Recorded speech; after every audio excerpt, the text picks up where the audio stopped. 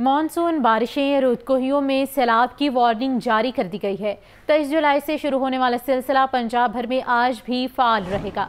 चौबीस घंटों में बहावलपुर, रावलपिंडी, शेखपुरा, लाहौर और जौहराबाद में बारिश रिकॉर्ड है। पेरी एम ने कोहे सुलेमान के पहाड़ी नदी नालों में दरमियाने दर्जे के सैलाब का अलर्ट भी जारी कर दिया है। इसी पर मजीद तफसलत जान लेते हैं सुहेल कैसर से। जी सुहेल, बताइए। बिल्कुल जी तेईस जुलाई को जो बारिश में बरसाने वाला सिस्टम जिसने पंजाब भर में प्रवेल किया था, बदस्तूर फाल है।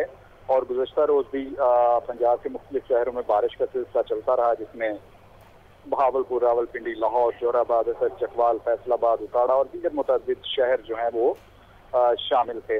और मुसलसल बारिशों के बायस इस बात का अलर्ट जारी किया गया है कि पंजाब की रोजकोहियों में, यानी पहाड़ी नदी नाले जो जनूबी पंजाब के मुख्तलिफ़ इलाकों में वाक़ हैं वहाँ पर फ्लैश फ्लडिंग हो सकती है।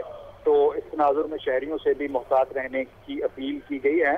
और अलर्ट में बताया गया है जी कि इन पहाड़ी नदी नालों में दरमियाने दर्जे की सैलाबी सूरत हाल बनने के काफ़ी कवी इम्कान हैं। और दरमियाने दर्जे के सैलाबी रेले इन रोड कोहियों से गुजर सकते हैं।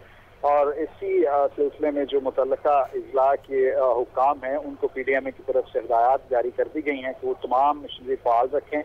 सूरत हाल पर मुकम्मल नज़र रखें और मसाजिद में भी ऐलान कराएँ ताकि लोग भी अपने तौर पर एहतियाती तदाबीर जो हैं वो मुकम्मल कर सकें। और इसके साथ साथ माल मवेशियों की हिफाजत के लिए भी जो प्लान तरतीब दिया गया है, उसके बारे में बताया गया है कि शहरियों के साथ साथ जो सैलाब की सूरत में मवेशियों के लिए चारे वगैरह का इंतज़ाम भी किया गया है ताकि किसी किस्म की मुश्किल का सामना ना करना पड़े। मुश्किल का सामना ना करना पड़े। बहुत शुक्रिया सुहेल।